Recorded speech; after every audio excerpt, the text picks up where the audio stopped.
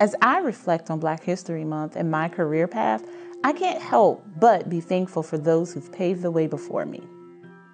For real change to happen sometimes, we have to get comfortable with being uncomfortable.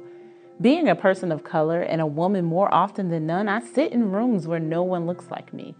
And as uncomfortable as this is sometimes, I know women or people of color must see someone who looks like them in a leadership role such as mine. After all, that is why I am where I am today, because someone who looked like me sat in this seat and made me believe it was possible to do the same. The only thing that truly separates people of color from anyone else is an opportunity. College campuses, especially NAIA intercollegiate athletics, can be seen as a unifier and, in most cases, an accurate representation of our country's diversity.